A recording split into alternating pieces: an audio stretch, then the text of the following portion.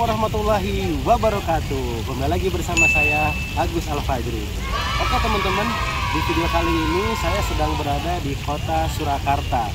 Dan di depan saya ini adalah uh, salah satu tempat yang sekarang lagi banyak dikunjungin oleh uh, muslimin muslimat dari Indonesia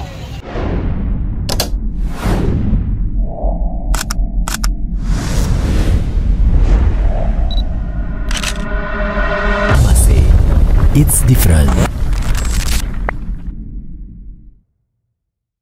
Mau tahu di belakang ini bangunan apa? Tentunya penasaran kan? Jadi ikuti terus video ini sampai selesai. Nah, sudah tahu belum? Jadi bangunan ini adalah sebuah masjid. Namanya Masjid Syekh Zayed jadi buat teman-teman ya apalagi mungkin yang pernah pergi ke Abu Dhabi jadi di sana juga ada Masjid MBZ ya Masjid Muhammad bin Zayed. Nah ini itu guys seperti replika atau mungkin e, versi kecilnya dari yang di Abu Dhabi. Jadi kalau buat kalian yang pernah ke Abu Dhabi ya itu lega sekali luas sekali dan ini versi mininya. Keren kan? Yuk kita kepoin seperti apa masjid Syekh Zayed ini. Let's go.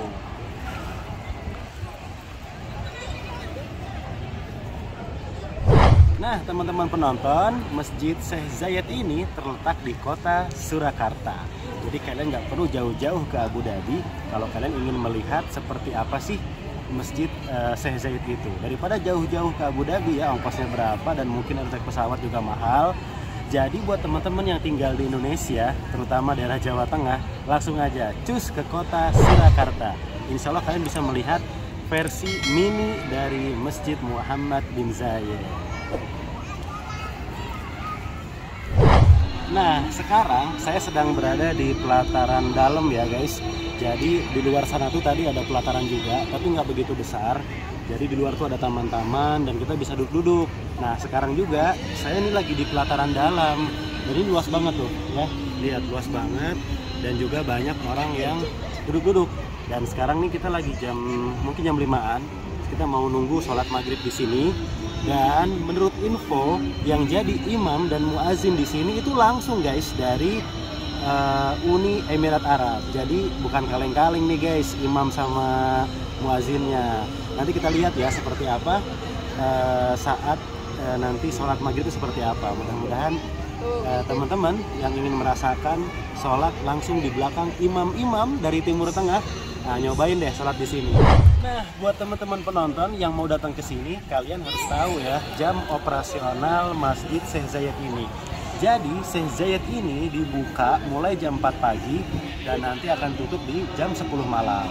Tapi buat teman-teman yang mau masuk ke tempat sholat ke dalam sana, tuh ya, kelihatan nggak? Tuh, udah ada orang banyak di dalam. Jadi untuk yang di dalam itu khusus tempat sholat dan hanya dibuka ketika pada waktu jam sholat saja. Jadi kalau bukan waktu jam sholat, teman-teman hanya bisa e, menikmati atau masuk sampai di pelataran ini ya.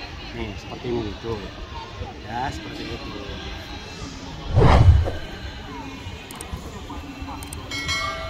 Nah keren kan? Ini pelataran dalamnya sudah keren begini apalagi nanti pemandangan di dalamnya. Kemudian di pinggirnya ada kolam yang berwarna biru nih. Kayak gini guys. Nah kayak gitu ya terus di luar sana juga ada tempat uh, wudhu ya seperti ini terus juga ada pohon-pohon ala-ala uh, kurma gitu guys dan kalau kita lihat ke sana ini juga jadi tempat untuk spot uh, para wisatawan, para pengunjung untuk berfoto-foto di sini. Keren kan? Nah, pasti kalian juga pengen kan ke sini. Pokoknya yang belum pernah ke sini, saya saranin ke sini deh untuk melihat bagaimana keindahan daripada Masjid Syekh Zayed di kota Surakarta. Dan yang paling uh, lucu ya, nih di sebelah saya ini ada tempat wudhu. Nah, lihat nih jadi keren guys tempat duduknya kayak gini nih jadi kayak lingkaran gitu terus ini keren banget ya dan menurut info itu keran wudhunya ada 6062 keren kan? Jadi kalau kalian lihat dari sini nih ini ada satu kemudian nanti ke belakang tuh ada lagi ada dua di sana tuh dua di tengah dan satu lagi di ujung sana ada tiga. Dan sepertinya eh, apa ada juga mungkin nanti yang ke dalam ya. Saya belum ke dalam. Sepertinya sih kalau di tempat aslinya ada yang di dalam. Nah ini saya baru lihat yang di luar aja tempat wudhunya. Mungkin ada yang di dalam namun menurut info jumlah kerannya itu ada 606 guys banyak banget kan luar biasa Nah itu ya guys, tadi tempat wudhu yang di luar, ini tempat wudhu yang di dalam nih. Tapi ini khusus yang laki-laki. Nanti bisa lewat situ tuh, turun ke bawah, atau kalian bisa lewat lift. Nah tuh di sebelah kanan sana ada lift. Nah itu ya lewat lift. Dan nanti kalau kalian sudah wudhu, kalian bisa masuk ke masjid lewat sebelah sini. Ini untuk yang bapak-bapak. Ya untuk yang laki-laki nanti lewat sini masuknya. Nih gerbang ini nih. Tapi untuk yang ibu-ibu nanti lewat yang ujung lagi sebelah sana. Nah, gitu guys. Jadi kalian bisa wudhu di luar atau bisa wudhu di dalam. Dan yang perempuan nanti juga sebelum masuk pintu di sini juga ada tempat wudhu. Nah, kalau udah wudhu, kalian bisa masuk. Yuk kita lihat seperti apa. Nah. Wah, ternyata lega juga ya guys. Tuh, lihat. Wah, ternyata karpetnya juga berbentuk batik guys. Ini perpaduan antara seni dari Timur Tengah dan seni dari negara Indonesia. Nah, masya Allah, bersih banget ya guys. Ini wastafelnya ya sebelah sini, dan ini nanti untuk tempat wudhunya nih. Waduh, indah banget, bikin nyaman dan bersemangat datang ke masjid ya, luar biasa. Nih tempat wudhunya nih guys, dan ini tempat wastafelnya nih, keren banget guys. Nah, jadi teman-teman tempat wudhunya itu ada di lantai bawah gitu ya. Dan ini sekarang dari lantai bawah kita langsung masuk. Nah, ini dia nih, guys. Eh, apa ya pintu utamanya? Yang ibu-ibu lewat sana. Nanti yang bapak-bapak lewat sini, guys. Nah, ini dia nih, masya Allah. Sejuk banget, guys. Adem, indah banget, masya Allah. Jangan lupa berdoa ya, guys, dan masuk melukkan kaki kanan. Bismillahirrahmanirrahim. Uh, masya Allah, ini yang ibu-ibu. Uh, gede banget mesinnya guys, luar biasa. Dan ini tinggal beberapa menit lagi masuk waktu sholat maghrib. Masya Allah, tabarakallah. Guys, azan tuh, masya Allah. Allahu Akbar. Oke